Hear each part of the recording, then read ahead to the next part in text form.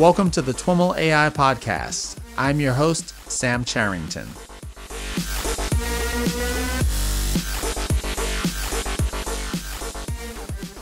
Machine learning models are increasingly used in business, government, and other settings that require users to understand the model's predictions. Interest in these use cases, combined with the increased popularity of opaque machine learning models like deep learning, has led to the development of a thriving field of model explainability research and practice. Next week, on Tuesday, August 11th, we're bringing together experts and researchers to explore the current state of model explainability and some of the key emerging ideas shaping the field. Our panel, which includes experts from Cornell, Carnegie Mellon, Harvard, IBM, and more, will be on hand to share their unique perspectives in this area and to answer your questions about model explainability.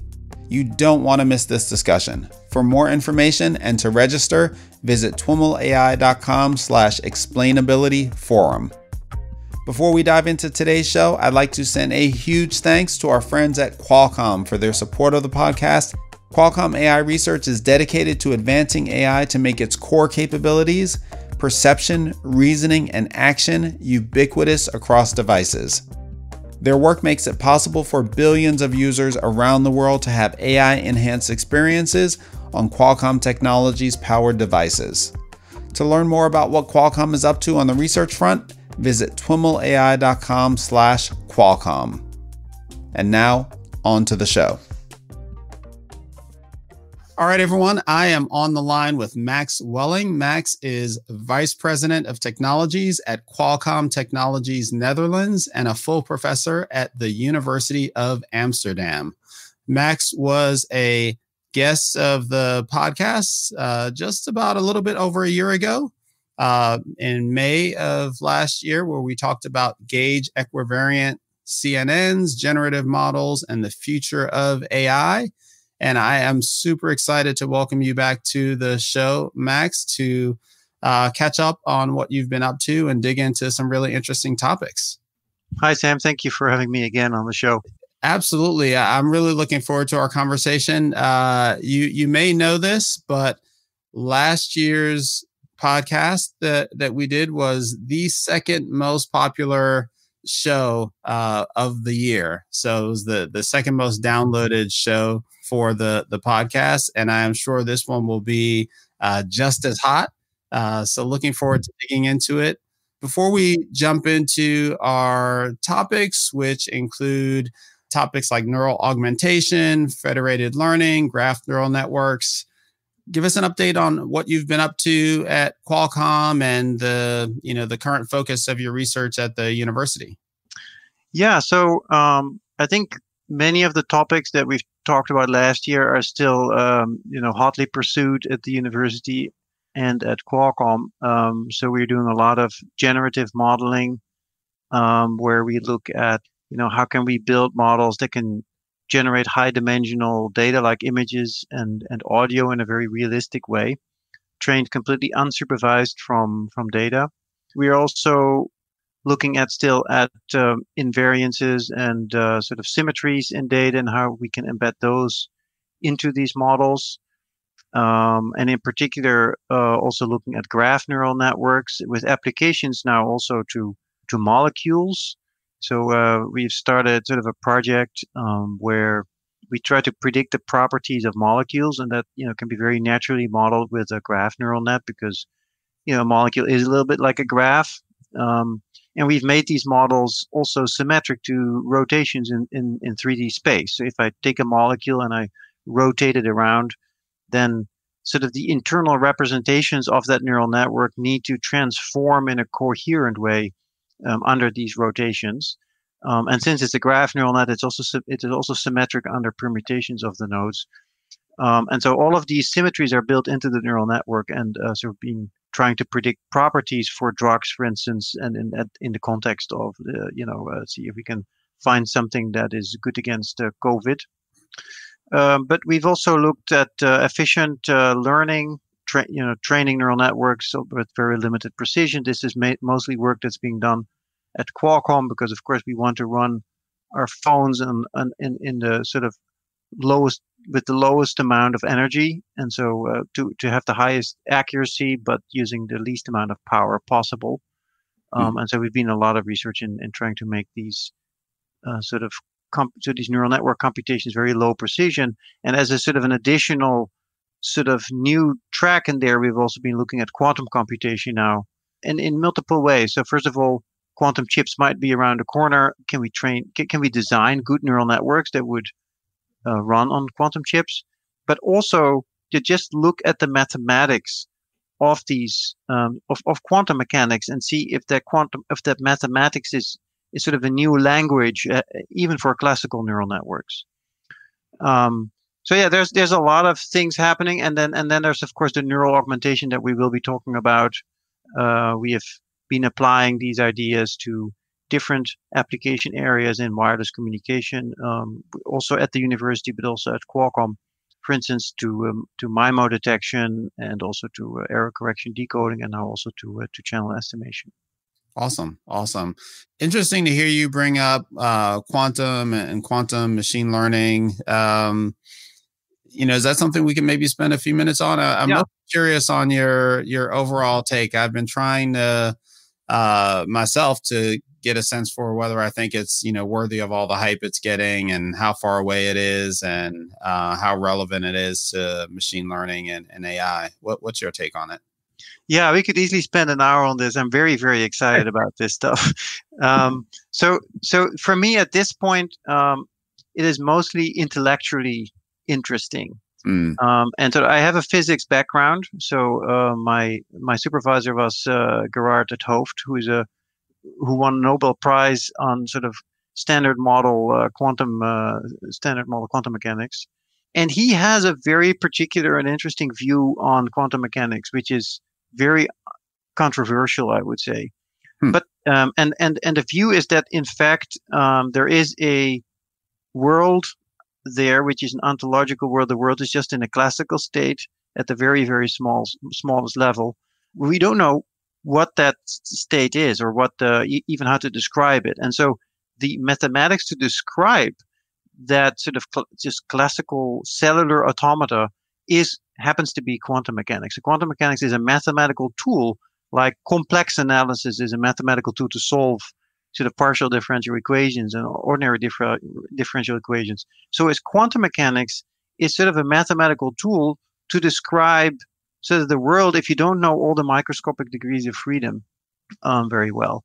And so while there's a whole sort of debate going on in the physics community, it turns out that that particular view of the world is very interesting to apply to neural networks. And, and sort of that to me is, is sort of what I'm currently very interested in. So that's really just applying mathematics of quantum mechanics to uh, sort of neural network research.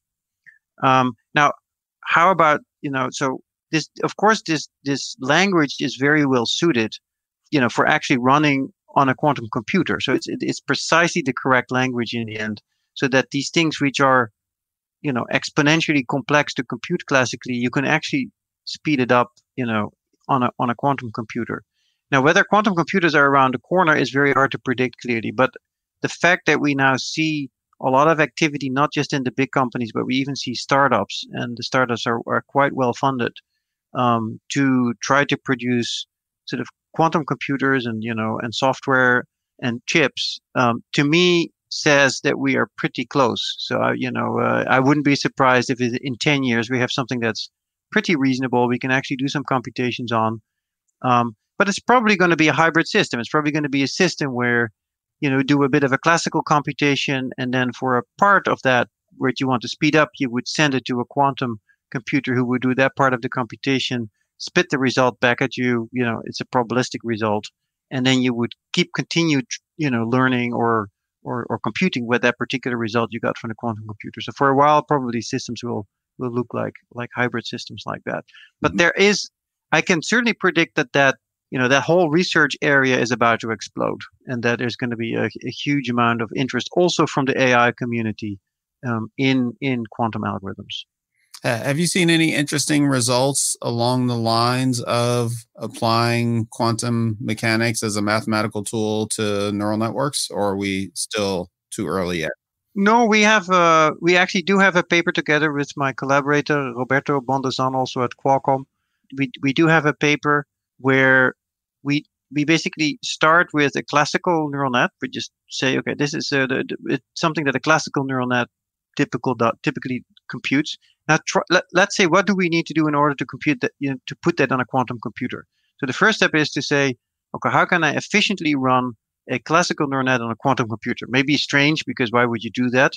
Um, but you learn a lot about the language of quantum mechanics if you force yourself to go through that procedure. So once we've done that, we now ask, okay, can we now slightly deform that classical neural net into the quantum regime? So not like full blown, you know, quantum, but let's say just make a small perturbation of that classical system into the quantum regime and see if we can then still perhaps do classically even um, sort of fast computations and just see if we can improve you know the, the, the models that we design with our classical tools uh, with this new sort of earned degree of freedom that you now have this quantum degree of freedom which is sort of where you can now start modeling in so we have we have done that and there's also a lot of other people who have but mostly the research is about you know how can i design good quantum algorithms on quantum computers but i think that that's maybe too limited of a scope to think about mm-hmm. Mm-hmm. Uh, so one of the things that we wanted to talk about is your uh, work looking at what you call neural augmentation um, and some various applications of that. When you say neural augmentation, you know, do you mean that in the colloquial sense of you know augmenting human intelligence with you know neural networks and AI, or do you mean something different? So the way I mean it is um, before the sort of the deep neural network sort of explosion, people and and also in other communities like in in science the scientific community or the signal processing community people have sort of hand designed algorithms that were very smart and that worked very well. And there was a lot of deep thought going into these algorithms when they designed these algorithms. So there's a lot of knowledge in some sense embodied in these algorithms. And, and if you look at the sciences, of course, people write down sort of uh, partial differential equations to to model the world, right? And um, so there's like centuries of sort of scientific research that is basically embodied in these equations. Um, even though the equations might look simple, right? There's a lot of knowledge that is embodied in these equations. Yet, um, you can ask yourself when the world is very complex, like if you're trying to model the internet or something like that, mm-hmm. um, you can ask yourself, is our imagination strong enough to to model all these small little details, you know, that might be going on in such a complex system? And you know, for me, the answer is clearly no. Maybe there's exceptions. Maybe somehow physics at the very fundamental level is simple, and you could write it down, you know, very simply with, with a few parameters or no parameters. But systems out there in the real world, um, like for instance, human interactions, are so complicated that you know every model that we write, write down is, is is way too limited. Um, and so then the question is, can we enhance those models that we write down with hands, with our hands, right? So let's say uh, when we write down a model for COVID transmission, like transmission of diseases. We have a model that's called SIR models that sort of model how uh, sort of the virus is transmitted. We can make it increasingly complex by studying, you know, how things, you know, are transmitted in the world. Um, but then still, you could argue, well, have I really modeled all the details of this problem? And so then you can say, well, it maybe the world is too complex. Maybe there's many, many sort of patterns in that data that I just can't really write down. So let me just try to just collect data and then make a predictor, train a neural network that tries to predict these kinds of things. Mm-hmm. So that's the other part, you know, side of the regime, right? You can either collect a huge amount of data and train predictors, or you can have one of these models that you sort of hand designed and just run it with no parameters. So now the question is, is there something in the middle? Can you say something where you start off with your with your engineering solution or your scientific model and then say well let's not completely throw it away but let's just correct it. Let's just think okay this is an iterative algorithm that that you know makes makes changes on the way as it iterates. Now let's give it nudges. At every iteration let's nudge it in the right direction. And the way we're going to nudge it is with a neural network that is being trained on on data. And so the advantage of this is that you you can do with much less data because um, there, you know, most of the signal, most most of the problem is already modeled by the engineering solution. And the other thing is that it's it's usually much better when you move it out of the context in which it is trained. So if you train a neural network in one context, like you, you try to predict, let's say, something on a white skin, right? And then you say, now, now let's try to do the same thing on a black skin, but you haven't actually trained it on that skin, well, then it will completely fail. But if you train a model that the only thing it needs to do is to sort of model corrections or small little changes to an algorithm that already worked for all types of skin, right? Then those changes transfer a lot better from one domain to the next domain. And so there's there's a lot of advantages, in my opinion, about trying to to augment a model rather than to completely train it from scratch. Mm-hmm. Uh, this is a super interesting topic for me, and one that has, uh, you know, a, thread that I've been pulling on, you know, back from the, the earliest interviews that I've did. This idea of hybrid uh, systems. A lot of those conversations uh, and the work, at least my impression uh, from the, the interviews I've done have focused on, you know, we've kind of the pendulum has, has swung to kind of these statistical uh, approaches, you know, but we have this knowledge of physical systems. Let's try to incorporate the knowledge of the physical systems, the engineering engineered solutions, as you might put it, into the the, the neural models in some way what I'm hearing here is kind of the, you know, I don't know if it's the opposite approach, but a, a, a different approach or coming at it from a different angle, which is, you know, adding a, an element of the, uh, the neural to the engineered solution. Is that, is that a significant uh, distinction? And, and am I getting that right? I think you're getting it right, but it, it, so we've, under this sort of name of neural augmentation, we've trained models which are either close to one side of the spectrum or the other side of the spectrum. So we have trained models which are, you know, very heavy on parameters, but that when it looks like an ordinary neural net or recurrent neural net, but it internally it it understands the actually the generative process by which the data was being generated. So it's trying to reconstruct something, like it's trying to reconstruct, you know, a high resolution image. And every iteration, when it tries to do that, it looks at that image and says, well, what if I would send this this particular image through my my noisy observation process? What would I see? And then compare that with the actual observations, right? And then look at that difference and then feed that difference back in your neural net and then keep iterating. So that's basically a neural net, but that's aware of the of the physical sort of you know generative process of the data. On the other side of the spectrum, we've also looked at, you know, take a classical solution, let's say for tracking a channel. Let's take a, a channel in, in, in, wireless communication. You know, the, the channel changes all the time, but you need to understand the actual channel specifics in order to reliably send information over the channel. So you're trying to track that channel over time. So there you could start with a model that's very close, you know, to the to the to the engineering solution, which is some kind of Kalman filter. And then you can say, well, if things go well, don't touch it right? But if if something starts to change and, and it's not well captured by my current Kalman filter, now just nudge it and change it a little bit with this learned module, which is you can call a prosthesis, right? Some neural prosthesis which is there. It turns on or it does nothing when it doesn't need to, but it it, it corrects if if it senses that you know the the classical solution is is veering away from what, what it should be doing. So so I think you can easily be on both sides of the spectrum with this kind of hybrid technology.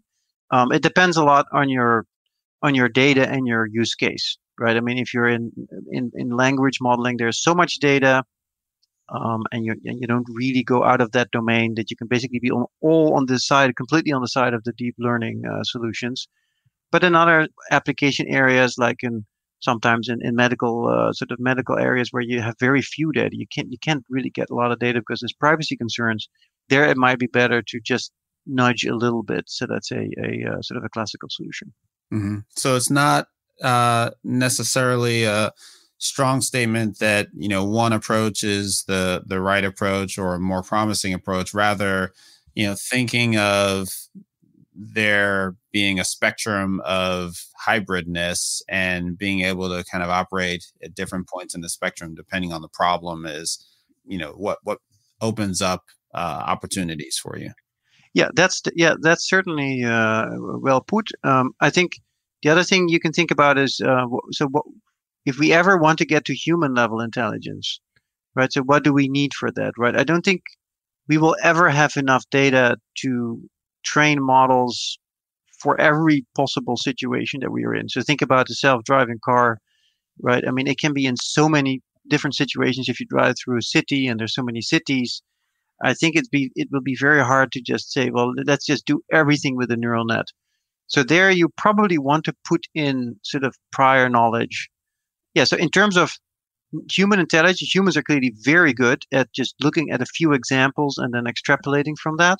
Mm-hmm. Uh, you know, that flexibility or that learning from very few examples or the generalization ability. I think we need a, a lot more generative modeling in order to achieve that. Mm-hmm. Yeah, the the counterpoint there is, you know, I may, you know, I may understand that, you know, when I throw a, a ball or projectile or something, it's going to have a kind of para- parabolic trajectory. Uh, but I certainly, uh, as a kid who knows that, I don't know the equation uh, for that. Is the suggestion that you know to to get to human like intelligent, we're going to you know one of our cheats is going to be providing a lot of these equations that we've figured out over time uh, and, and that helps us, or yeah, maybe maybe it's easier it's easier to compare this with evolution. So so learning as a as a species, let's say all of humanity, you know, has two time scales. There's the long time scale of training uh, through evolution, right? And then there's the short time scale, which is I get born with some innate abilities to see things. I mean, probably throwing things and seeing things, you know, flowing through the air um, it, it, comes very natural to me somehow because I've sort of, I know, probably innate ability, like a like an innate ability to learn language fast and things like this. So you could argue that as a community, we're building AI systems and machine learning systems, um, and we are learning from each other as a community. And then every time we build something new, why not put in a lot of that those things that we already understand about the world?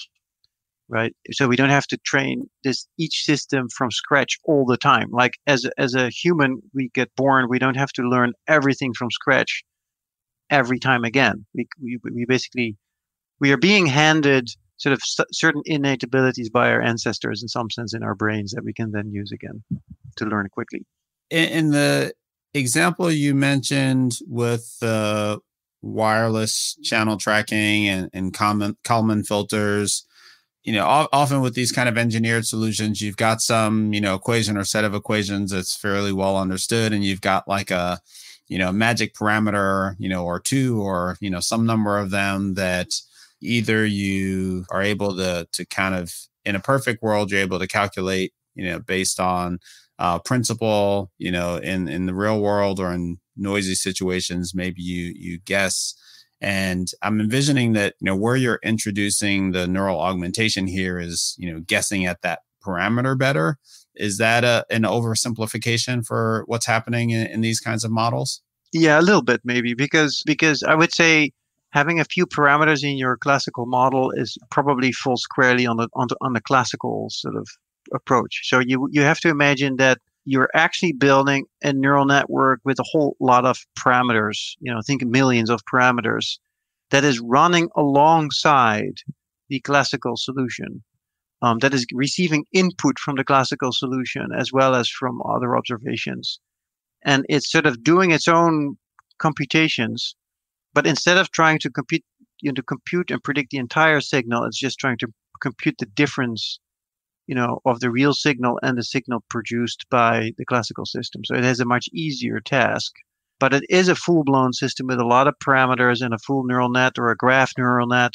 Um, so it uses the full machinery of deep learning in that sense. Um, maybe you have to regularize it heavily because, you know, maybe you don't need as many parameters, but we know how to do this very well these days. But it's, it's really a true deep learning system running alongside a classical solution that is interacting with the classical solution in a way to sort of work together optimally.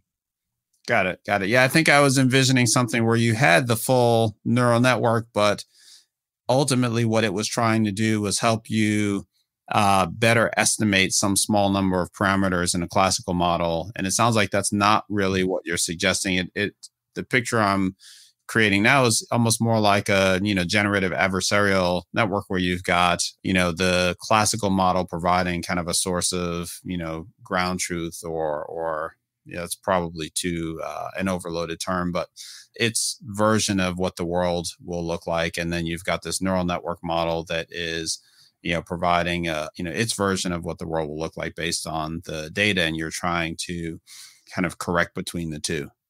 Yeah. So, so generative adversarial networks are a particular way of training uh, certain networks. So these networks are actually not trained in this particular way, but as, as a game um, between two networks but you know to, to some degree it's correct that you know you have two systems interacting with each other right and sort of um, improving each other or helping each other so in this case so in the GAN it's competitive. So they compete with each other. So in in this model it's cooperative. So the two systems 100% cooperate. They try to there's one goal at the end and both try to reach the same goal. And we sort of back propagate through this whole system. Um, and these two systems are cooperating to to reach that goal. Where in a GAN, the interesting thing is that they actually there is no single objective. There's just two objectives that compete, and somehow by competing over these over their own objectives, um, so that both systems gets better. So that's a bit of a different philosophy, I guess. Mm-hmm. Uh, other applications beyond the the channel tracking, or what are some of the other applications that you've looked at for this approach beyond the channel tracking? Yeah, so within uh, Qualcomm, we are now just starting to think about um, how to apply this to physical design and chips. So it's uh, we ha- we haven't done a huge amount of work, but um, it feels like this approach is uh, could be very interesting for uh, sort of physical design and chips, so sort of a place and route kind of problems. And at a mathematical sort of abstract level, how that looks like is I have a whole bunch of components, small little cells that I need to sort of put on a canvas. Um, and and you also you know all of these small little pieces also need to be routed to each other so they need to communicate with each other because they have to run a program together in some sense right but they have to be placed in a two-dimensional sort of canvas you know and, and then there is millions and millions, if not hundreds of millions of these components that need to be placed in, in a way that the whole thing functions correctly, which is like an immensely complicated exercise. And there's like hundreds of engineers that work on this for months and they sit together and then each, each, each of them owns a little piece of that, that sort of chip. And then they say, you know, I need a little bit more space, you know, to put my component in and, you know, can I have a little bit of your space? And then mm-hmm. the other person sees and, and, and then they interact with sort of systems that compute you know, um, if this is feasible, if, if, if the components that need to be placed on that particular subspace um, can actually fit in. And it's a whole complicated process. I, when I've looked at that, I've been incredibly impressed by, you know, what, what these engineers all do together. At the same time, uh, this is ripe for machine learning applications. And, and uh, some companies have indeed started to look at the problem like that. So this is a very complex combinatorial optimization problem where you know you have to sort of put these design the shapes and put the shapes on a canvas eh, like a puzzle so that the whole thing sort of fits and also all the components that need to communicate can communicate with each other without having huge long wire wires to connect them mm-hmm. And so here you can think of okay what is can we write down a, a, combinatorial optimization tool that if i sort of look at every iteration of a step of that tool right can I think of that as, as one layer of a neural net? And then can I try to figure out, can I then have my combinatorial optimization tool run together with a neural network that tries to sort of interact with that combinatorial optimization tool in order to get a better solution to this problem? And the key here, which is very interesting to me in my opinion, is that instead of trying to solve each problem again and again and again, you can now create a whole bunch of these problems and sort of learn from all of these problems, sort of common patterns of what it means to solve one of these problems efficiently. And then again, you can transfer that knowledge from one problem to the next problem, which is just a generalization performance. And sort of at the university, at some point with uh, Wouter Kool and Herke van Hoof, who was a PhD student at the university, for instance, we looked at a problem like that for a traveling salesman's problem, which is a combinatorial optimization problem where you try to visit a number of cities as you go around, and you have to sort of end up, you know, make a, make a full circle through all the cities, but the the total amount of distance that you travel you want to minimize. And so we showed there that you know there there's a lot of classical solutions which are very powerful, um, but you can also attack this with these machine learning tools and learn common patterns um, in in solving these particular problems. And this is, for instance, very useful when you sort of are halfway through a solution and then some something changes quickly, right? So it's like you're delivering your stuff, and then somebody says, "Well, you know." This person doesn't want anything anymore, or you know, you, you should you should skip this in this city, right? Then instead of recomputing the whole solution to this problem, you can just use your trained machine learning algorithm and, and sort of embed that new constraint and then and then keep going. Again, this the augmentation part here is I have a combinatorial optimization solver and I have a neural network that looks at many problems at the same time. And this neural network is going to talk to the to the solver and say, why don't you do this or why don't you suggest you know why don't you make this move or you know this move at this phase in your optimization problem for this type of problem is a very good phase, for, a very good step for you to take now, right? And so that's that's how that could be applied to uh, to this kind of chip design. And in this case, are you using kind of feed forward networks or reinforcement learning or combination of, um, you know, have you tried different solutions here? So some companies, uh, like there's been a, pa- a paper uh, by Google recently, um, they have used reinforcement learning for this particular problem. So, but but I think the, the the general philosophy is more general. So you, you you can take any solver and then unroll it. Just think of it as every iteration of that solver, right? Let's say it, it takes 100 steps in order to come to a solution. So think of every step as one layer in a neural network. And then you just have this backbone, which is a, a fixed set of steps, which is what the solver gives you. And then around it, you build your neural network, you know, flexible transformations that will, you know, and, and, and, and neurons that store information that you can read and write from um, that somehow perturb and change and suggest things to this to this backbone uh, solver.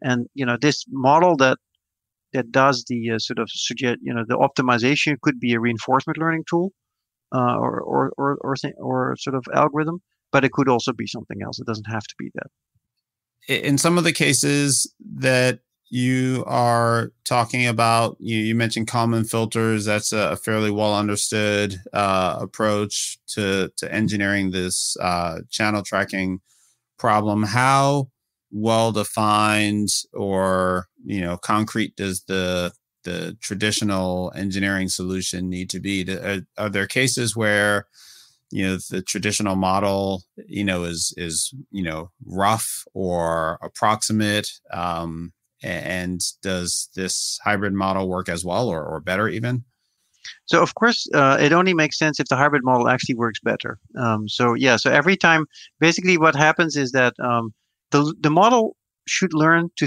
to shut off when it's not improving the classical solution because then the classical solution suffices. But if the model is rough, if the model that you think the world works is not actually how the world works, and so there's mistakes in that model, um, and you have sufficient data to train uh, these sort of more subtle patterns in the data, then then in fact this model will start to perform better. And we've seen very consistently when applied to many problems that you see. So you have a fully trained solution the fully trained solution works very poorly when you have very little data. Um, but if you start to throw more and more data at it, it will it will keep improving. Then there is the classical solution. It works a lot better than the learned solution when you have very little data because there's all this prior knowledge in it. But then as you throw more and more data at it, it doesn't improve at all because it doesn't use that data. And so there's a switchover point where the learned solution will improve over the classical solution. And now if you look at the hybrid solution, it's the best of both worlds. So when the data set is very small, it will understand that it will have to rely on the classical solution.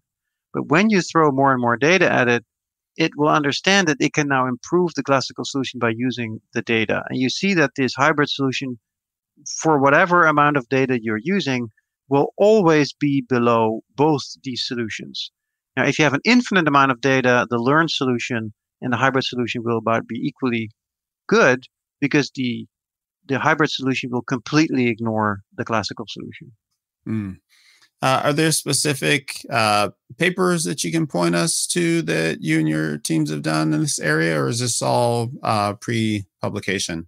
At Qualcomm, uh, the stuff is at this point pre-publication, but there's a paper, for instance, uh, where we applied this idea to MRI, uh, magnetic resonance imaging, um, where we, where we actually uh, were in a competition. It was a face. It's called Fast MRI competition uh, organized by Facebook and NYU, which we actually one of the tracks in.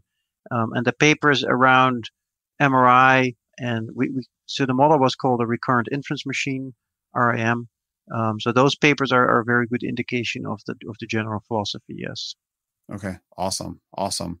Uh, another topic that I wanted to make sure we spent a little bit of time on is some of your recent work on graph neural networks and and some of the things that you've been seeing there since the last time we spoke.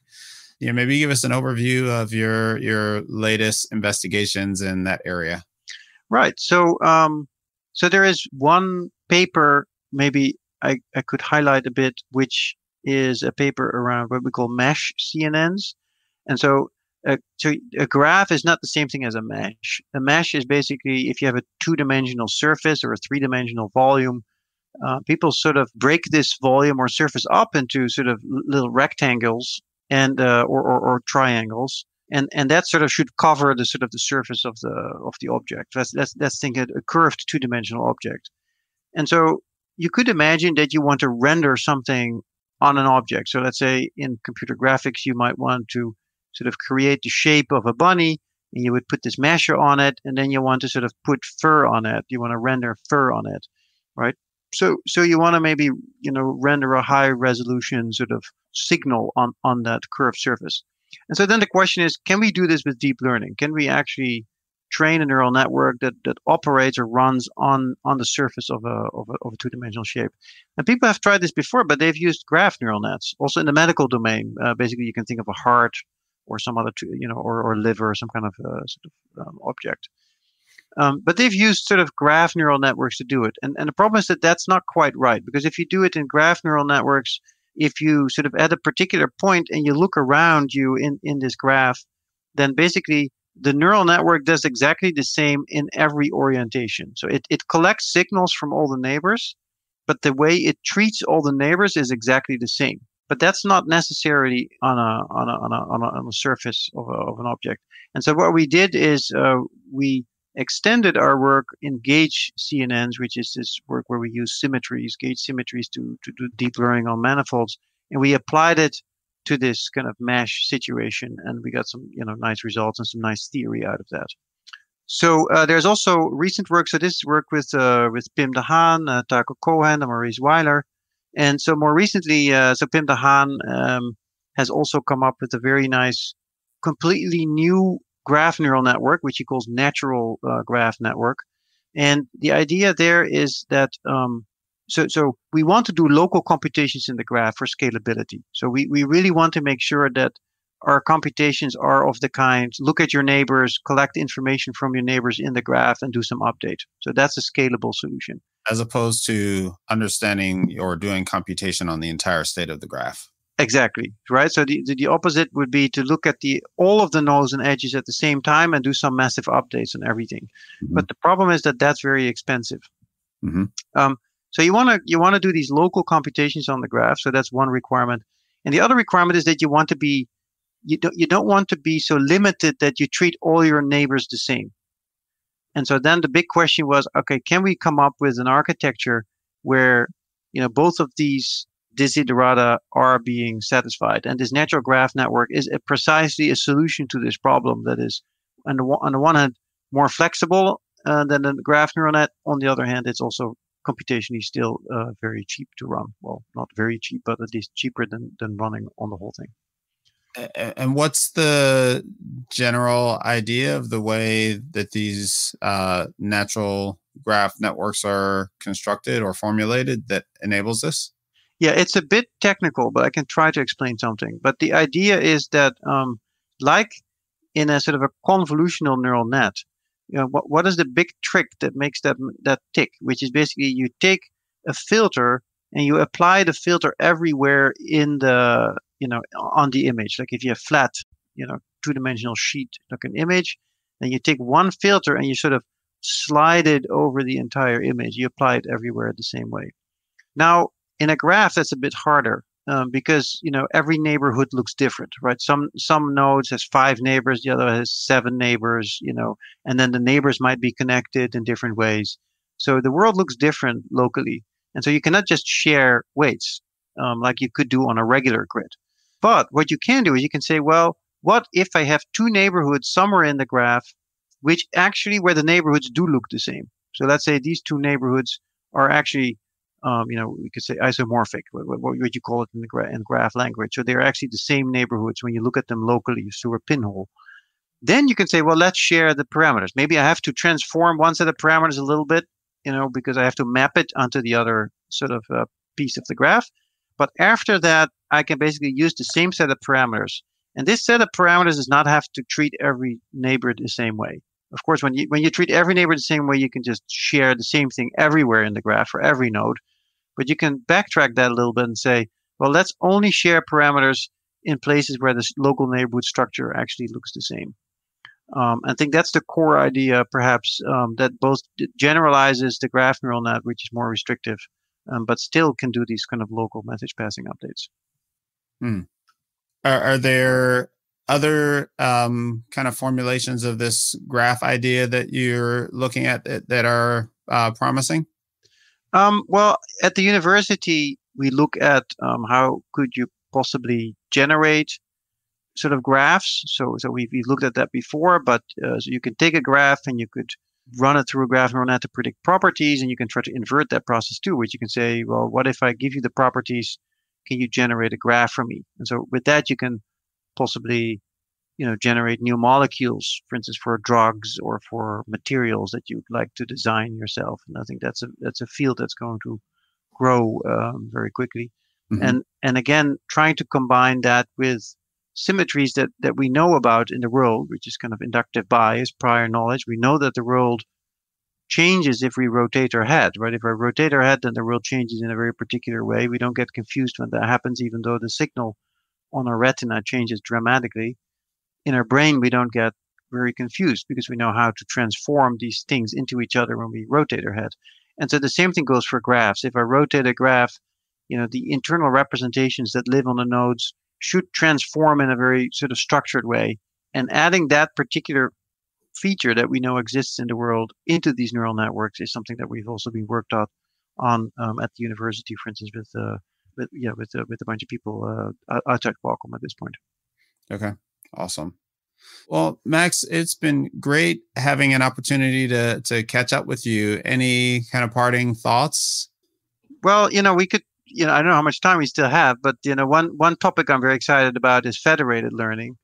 Okay. Um, so maybe we can briefly chat about that a little bit. So that's the topic that we do uh, research in uh, quite a bit at um, at Qualcomm. Uh, Christos Louizos, for instance, is uh, is involved in that. And the idea there is that um, instead of bringing the data to the cloud where the algorithm sits, let's do it. Let's revert reverse that problem. Let's say, well, let's keep the data, you know, at the places where it gets generated. For instance, on your mobile device. For instance, on your phone, and then bring the compute um, to these devices.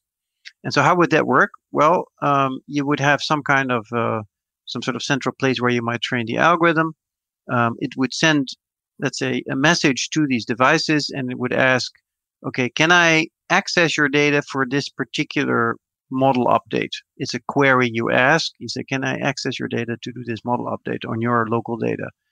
And then your local device might say something like, yes, but I'm going to have to add a little bit of noise to this because I want, I want to make sure that you cannot derive any sensitive information from that model update. And so it will then add a bit of noise and then it will send you the model update and you will update the model and then you will go to the next device, etc. Right? And so this this is now actually a very challenging problem because the data on the different devices might have very different properties. The different devices might have different compute uh, power. You may not want, you know, you you certainly want to privatize all those messages, but you may not have a lot of bandwidth. So you may want to keep the amount of communication between the cloud and the devices to a minimum. So there's all these constraints on this problem. Um, but still, you want to train this model in a sort of this sort of coordinated, sort of distributed fashion. And I think there's a lot of action happening now there in this domain. Um, of course, for uh, for Qualcomm, it's very interested because interesting because we we we run processors on these devices, right? Our processors are on these devices, so that's why it's interesting for us. But more generally, I feel this might be the future compute paradigm, where because it also solves this privacy issue, right? Maybe we do not want to send in the future all our data to big companies or to government organizations and all these kinds of things.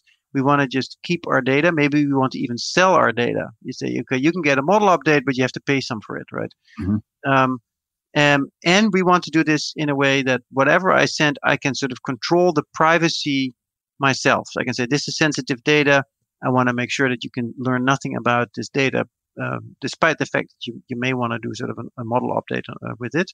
Um, and then there's other data maybe I don't care too much about the privacy, and so you can have it. And sort of there's this whole interesting idea of maybe a market that might emerge from this, where people have data, people want to train algorithms, and they sort of connect to each other in a distributed fashion, and they communicate in a in, in a way that's privacy uh, sort of free, you know, uh, safe, um, and sort of in this kind of whole sort of ecosystem, models get trained um, on, on, this dis- distributed set of data. Mm-hmm. So yeah, so that's something that we're working on at Qualcomm, and um, and I'm very excited about too. Yeah. Nice, nice. One of the topics that comes up uh, has come up quite a bit on the show is is differential privacy and you know, various approaches to um, using encryption and, and the like to enable these kinds of federated models. Are you focused on the kind of the you know encryption aspect of it, or kind of the the federation piece of it? I, I know that's a bit of an artificial distinction, but um, no, no, it's it's a very good question. So, um, so in fact, we are uh, 99% focused on the federation and the distributed sort of learning aspect of things and making sure that we can train these models well. But there is very interesting ideas around encryption too. When instead of adding noise uh, to the data update, you can also encrypt your data. And then there's one particularly nice kind of encryption protocol, which is called homomorphic encryption, mm-hmm. where you do certain operations in the encrypted regime. So you can just add like a whole bunch of model updates that you might have received from different devices. You might add them while they're still encrypted. And then once you have the sum, you decrypt the sum. But the sum is a lot less privacy sensitive than the individual updates, right? Because an aggregate quantity is is uh, much harder to figure out what the individual constituents are.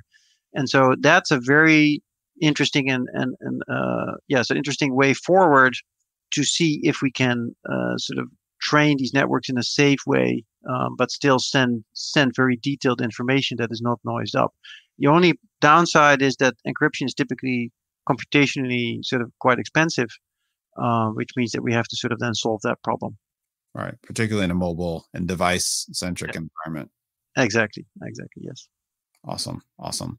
Well, Max, it's been wonderful catching up with you. Thanks so much to, for taking the time to um, check in with us and update us on you know, all the stuff you're up to. Thank you very much, Sam. It was a pleasure to talk to you again. My pleasure. All right, everyone, that's our show for today. For more information on today's show, visit twimlai.com slash shows. As always, thanks so much for listening and catch you next time.